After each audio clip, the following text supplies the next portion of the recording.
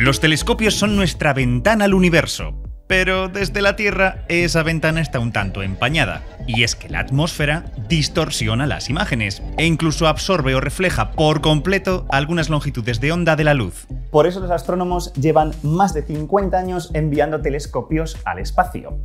Y no dejan de idear nuevos instrumentos, algunos tan revolucionarios que parecen sacados de una peli de ciencia ficción. Hoy os traemos algunas de las propuestas más alucinantes para intentar imaginarnos cómo podría ser el futuro de los telescopios espaciales. Vamos allá.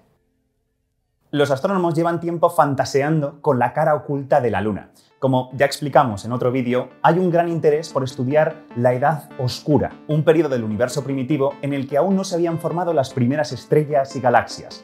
Eso exige detectar unas ondas de radio muy tenues emitidas o absorbidas por las nubes de hidrógeno que llenaban el cosmos por aquel entonces. Problema, no podemos hacerlo desde la Tierra porque la atmósfera refleja esas longitudes de onda. En cambio, la cara oculta de la Luna ofrece unas condiciones idóneas. No tiene atmósfera y, como siempre le da la espalda a nuestro planeta, está protegida de las ondas de radio que usamos para comunicarnos y que podrían enmascarar esa señal. Y buscar ondas de radio desde ese parapeto también podría ayudarnos a identificar exoplanetas que posean un campo magnético, una de las propiedades que podrían hacerlos habitables. Se han presentado varios proyectos muy ambiciosos, uno pretende extender una especie de tela de araña sobre un cráter de 1300 metros de diámetro. Spider-Man approves. En su centro, una densa malla metálica de 350 metros actuaría a modo de una antena parabólica, reflejando las ondas de radio y enviándolas a un receptor suspendido sobre ella, igual que hacen los grandes radiotelescopios de la Tierra. Para instalar ese telescopio, un módulo lunar aterriza en el centro del cráter y lanza unos arpones que se clavan en el borde, ya solo falta estirar los cables y desplegar la antena y el receptor. Todo automático. Uno de los principales retos es diseñar una malla capaz de conservar su forma y soportar los tremendos cambios de temperatura de la superficie lunar. Estamos hablando de hasta 300 grados Celsius, pero a la vez que sea lo bastante ligera para llevarla hasta allí. Otro proyecto busca plantar un conjunto de 100.000 antenas, básicamente tiras de aluminio, en un área de la Luna mayor que la ciudad de Barcelona. Y lo bueno es que los materiales necesarios para construir las antenas, cables y los paneles solares necesarios se extraerían de la superficie lunar y todo el trabajo lo llevaría a cabo una flota de vehículos exploradores. Hasta hay quien propone imprimir las antenas en colchonetas hinchables que viajarían plegadas y se inflarían en la superficie lunar. Movidas para todos los gustos.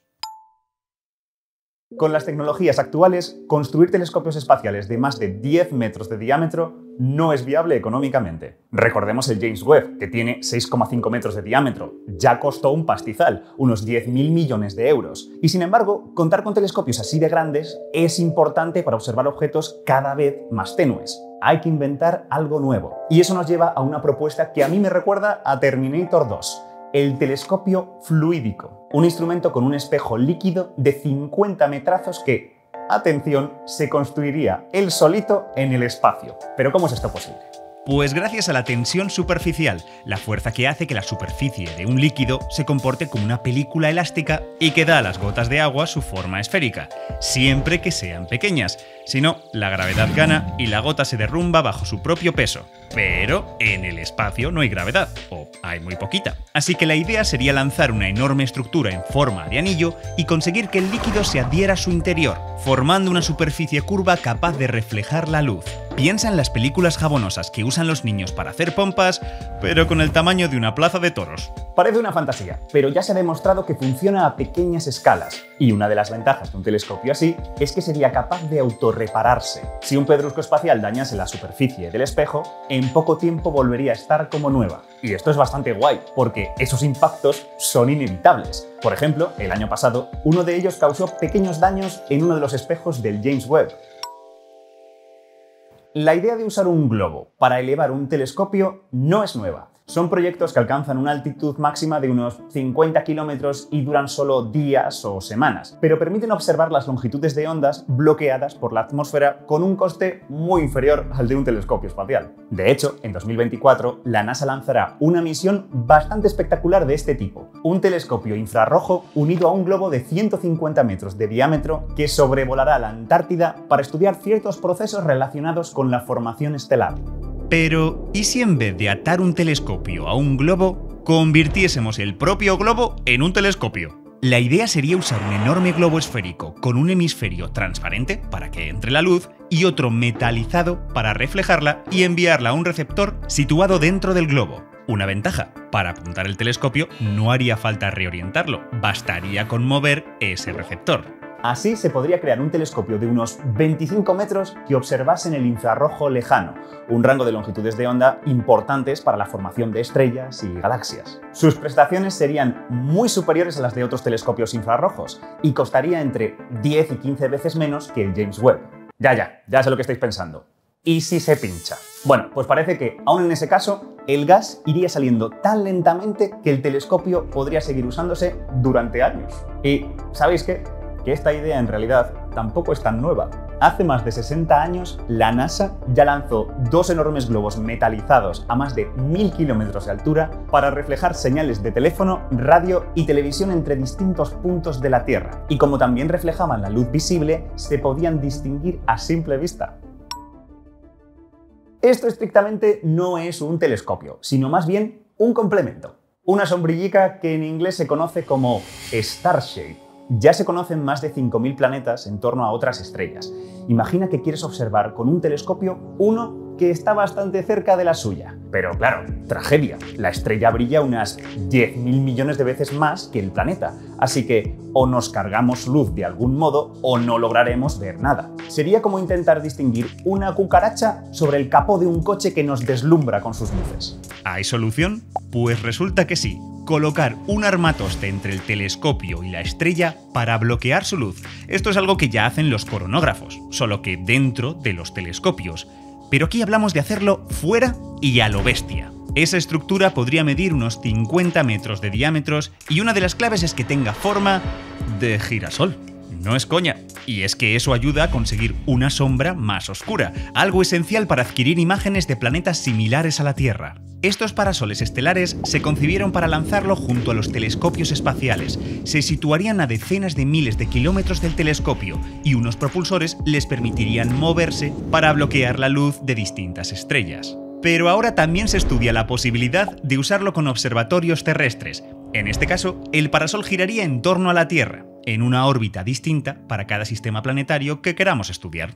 Pero los telescopios más alucinantes para mí son estos. La propuesta va en la línea de si la montaña no va a Mahoma, Mahoma va a la montaña. Es decir, si lanzar telescopios grandes es la leche de caro, vamos a intentar aprovechar las cosas que ya hay flotando en el espacio.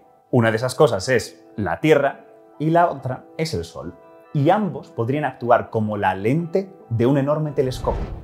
En el caso de la Tierra, la idea sería usar la refracción de la atmósfera. Cuando la luz de un objeto distante entra en la atmósfera, se desvía, igual que ocurre siempre que una onda pasa de un medio a otro. Un telescopio situado a cierta distancia de nuestro planeta, unas cuatro veces más lejos que la Luna, podría detectar esos rayos de luz desviados. La ventaja, según los cálculos, recogería hasta 20.000 veces más luz que un instrumento que apuntase directamente al objeto. Sería como multiplicar por 150 el diámetro de nuestro telescopio. Este método tiene una limitación importante. Solo puedes observar objetos que estén detrás de la Tierra, pero sería tan barato que se podría desplegar una flota de detectores para estudiar distintas partes del cielo. Aún así hay otros muchos retos. Habría que bloquear de algún modo la luz de nuestro planeta, la turbulencia atmosférica podría dar problemas, pero oye, ¿la idea mola o no? El Sol también podría servir como lente, pero no debido a la refracción, sino a la gravedad. Y es que, según la relatividad general, los objetos masivos curvan el espacio-tiempo alrededor suyo, y eso hace que cualquier cosa que pase por allí se desvíe, incluso la luz. Así que el Sol podría actuar como una lente gravitatoria y amplificar la luz de un objeto distante. De nuevo, habría que detectar los rayos desviados con un telescopio espacial, solo que esta vez habría que enviarlo un poquitín más lejos, a una distancia unas 600 veces mayor que la que hay entre la Tierra y el Sol, 20 veces más lejos que Neptuno. Eso es un problema. La sonda seguramente tardaría 20 o 25 años en llegar allí, en el mejor de los casos. Y además tampoco podría cambiar de objetivo, le llevaría demasiado tiempo recolocarse. Pero quizá merezca la pena intentarlo. La lente gravitatoria del Sol podría permitirnos ver con bastante detalle la superficie de exoplanetas similares a la Tierra. Podría incluso revelar la presencia de vegetación u otras características que los hagan habitables. Y esto no es moco de pavo. Para tomar una imagen directa de un planeta como el nuestro, con un telescopio espacial, este tendría que medir kilómetros o incluso decenas de kilómetros. Aunque estas ideas parezcan muy locas, la NASA ya ha puesto pasta para que se sigan desarrollando. Algunas acabarán en un cajón, pero casi todas servirán de inspiración para futuros instrumentos. Y puede que de aquí a unos años una de ellas se materialice, la veamos surcando los cielos y nos ayude a continuar desvelando los misterios del universo. Pero antes de que os vayáis, sabed que si queréis ver un vídeo más, ya lo tenemos hecho.